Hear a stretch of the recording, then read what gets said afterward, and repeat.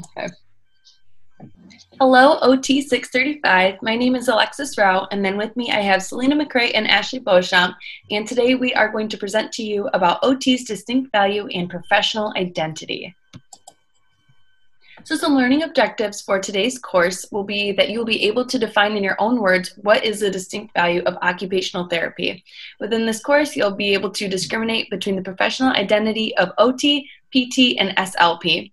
And then at the end of this, you get to have a little bit of fun with it, and you can create a video on Flipgrid that will describe the distinct value of OT when you're given a prompt and um, a case study, and you can rationalize why one profession would perform one aspect of patient care over another.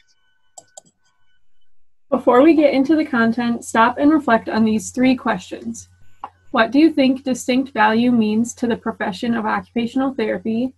What does professional identity mean to you? And how do you differentiate occupational therapy, physical therapy, and speech language pathology?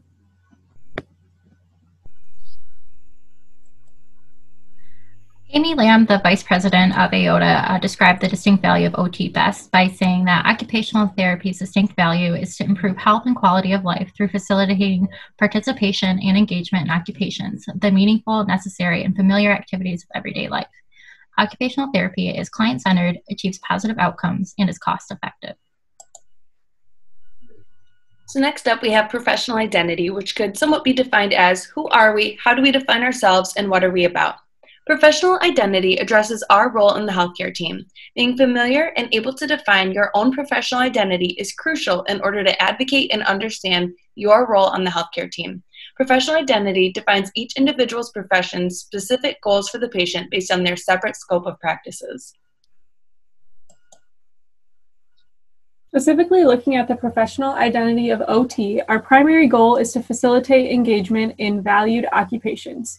We do this with a variety of populations and conditions in many different settings, and we're helping them to regain function and independence. We also do this through looking at the client holistically by considering all aspects of their life. The professional identity of physical therapy is a little bit different from that of um, OT and SLP because their primary goal is to optimize the quality of life through mobility and strength. PTs use hands on and prescribed uh, prescribed exercise activities to address things like um, patient mobility, pain levels, um, functioning, and to prevent disability. So now we're looking at the professional identity of a speech language pathologist. So their primary goal is to improve a patient's ability to communicate and or swallow among those with a variety of diagnoses. These professionals work on speech sounds, speech, I might need SLP, speech sounds, language, voice, fluency, literacy, social communication, and many people don't know that um, SLPs can also address aspects of cognition relating to communication. Then they also look at feeding and swallowing. SLP views the patients holistically and set individualized goals. These graphics show um, some Venn diagrams of how PT, OT, and SLP overlap. So on the left, you see some of the courses that all three of us take. So because we have similar educational backgrounds, um, what we do in practice on uh, demonstrated in the diagram on the right, you see a lot of overlap. Um, so a lot of areas of practice where you'll uh, see all three professionals are um, areas like acute care, home health, ICU slash um, NICU, pediatrics and schools, geriatrics, and neurology.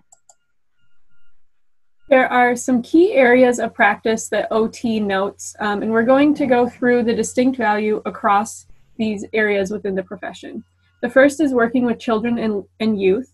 OT will take a holistic route to enhance growth and development, as well as promoting inclusive environments, working to strengthen bonds between children and their family, as well as increasing family engagement with those daily occupations and routines to improve academic, play, and leisure skills, as well as helping families and children to prepare for transitions within education, um, maybe transitioning to work and all of the different um, levels that come with life. The next is health and wellness. Occupational therapists educate and aid individuals in things such as pain, disease, and health management to um, help to prevent and limit hospital visits. These measures are done through means of home exercise, education on body mechanics, as well as integrating appropriate performance patterns within our daily routines. Finally, mental health. Um, the distinct value of OT is using meaningful occupations to promote adaptation, um, increased self identity, social connections and social identity, as well as personal growth and development. And then continuing continuing on into other realms of the distinct value across the profession. Within the realm of productive aging, the OT's distinct value is safe performance of daily occupations at home and in the community. And then, when focusing on rehabilitation and disability, the OT's goal is the use of client centered activities, education, training, and preparatory methods to facilitate engagement in meaningful occupations to achieve positive outcomes in client satisfaction, health, and well being. And then, when looking into the work and industry realm, OTs will modify and adapt the workplace by considering the factors between the individual, the occupation, and the environment through utilization of body mechanic techniques and occupation based activities. Related to these specific areas across the profession are settings that OTs can be found in. Um, so we're going, going to go over their specific role and value within these settings. The first is school in pediatrics. OTs will focus on the individual playing the role of the student. Um, they will work to increase partic- participation in many different occupations such as social interaction, academic skills, behavioral management, um, participating in extracurriculars such as sports or other after school programs, as well as even just interacting um, at recess. OT will provide collaborative efforts with faculty and parents to give education. They'll modify environments in order to promote their success and will also collaborate with discharge planning for later outcomes such as employment, living independently, or higher level education. Um, OT's role in home health care setting. Um, OTs can complete admission visits um, for patients el- eligible for services. This includes things like initial assessments and um, start of care uh, comprehensive assessments. They'll primarily focus on home safety, med management, and daily management of conditions such as those with diabetes, heart failure, chronic obstructive pulmonary disease, and cognitive or behavioral conditions. Um, clients must have continued need for OT under Medicare to qualify for home health OTs. So, within the acute care setting, the OT's role is to make patient centered decisions based on the information provided to them. Providing recommendations for adaptive equipment and home modifications is also within the scope of practice of an acute care OT. OTs will also collaborate with others on the care team, such as PT, SLP, nursing. And then also, they will find the best fit for discharge based on the patient's abilities, needs, and environment. Within the outpatient setting, the OT's goal is to regain skills necessary to engage in daily meaningful activities. To do this, an OT will teach and implement the use of adaptive equipment as well as energy conservation techniques to enable the, the client to participate in these occupations. They will also educate on different compensation strategies for things such as vision, cognition, and physical deficits. So within a skilled nursing facility, um, what you're going to do as an OT is write patient goals, really incorporating their patient, um, your patient's strengths as well as their meaningful occupations. You're going to want to develop a plan for discharge and really work on improving their self-care skills such as bathing, grooming, dressing, and educate on the use of adaptive adaptive devices as well as recommending home modifications for when they are discharged from the facility. And you're going to want to address psychosocial concerns as well, such as depression and anxiety. Um, you may also um, educate on fall prevention, proper body positioning, um, dementia management, and group therapy as well. So, some questions to reflect on OT's role across the various settings that OTs are able to practice in. Some things to think about would be what other less common settings can OTs practice in? What role does an OT play in all of these settings, regardless of the population or condition? And then also, what is the main role and distinct value of OT? As we're wrapping up, here are some key points to remember from the content. OT has a very distinct professional identity, but there's a lot of gray area when considering the, the roles of PT and SLP within the same settings. Because of this gray area, it's very important to advocate for OT in our role on the healthcare team. Being able to define and understand the role of OT in each professional setting allows you to further advocate for your role on this healthcare team. So now we have a little case study example for you. Um, so Gertie is admitted to the hospital after experiencing a cerebral vascular accident, also called a CVA or a stroke.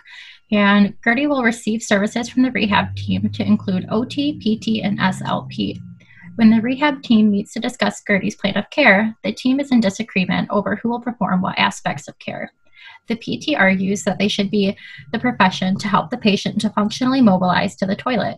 The OT says that they are responsible for all toileting, proper gait, and that they should also perform a swallow evaluation since eating is an ADL. SLP points out that they should do the swallow evaluation and that they should make the recommendation for appropriate adaptive equipment for feeding. So, our question to you is what professional should be responsible for all these aspects of Gertie's care? So, to break this down a little bit, as an example, so the PT argues that they should be the profession that helps the patient to functionally mobilize to the toilet.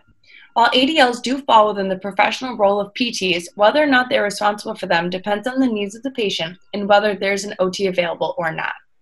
The OT says that they are responsible for all toileting, proper gait, and that they should also perform a swallow eval since eating is an ADL. While these aspects do fall within the profession and the role of OT, the swallow evaluation is typically performed if there is no SLP available in the setting.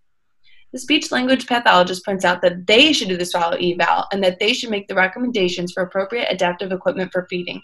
While the SLP should perform the swallow evaluation in this setting, they should also work with the OT in order to identify adaptive equipment that is appropriate for Gertie. So now looking at case study two, which you will do your Flipgrid response on, Nelson has sustained a traumatic brain injury or TBI several months ago. He has recently been discharged home and is receiving home health care services from OT, PT, and SLP. He wants to be able to throw football with his kids, but cannot due to right upper extremity weakness. He also displays facial drooping, which has resulted in difficulty speaking. The OT has been working strictly on strengthening his right upper extremity, which frustrates the PT. The OT is frustrated with the PT because they have begun to modify footballs for one handed throwing to facilitate participation in IADLs. The SLP is frustrated because the OT has been working on communication skills with the patient. Nelson just wants his life to return to normal and is becoming increasingly frustrated with his therapy team. So, your assignment um, for Flipgrid is to review case study two and, in your own words, begin describing what the distinct value of OT is. And then, based on the case study, what would be the designated roles for OT, PT, and SLP in this scenario? So, you're going to post your response as a Flipgrid video by following the link and joining the class.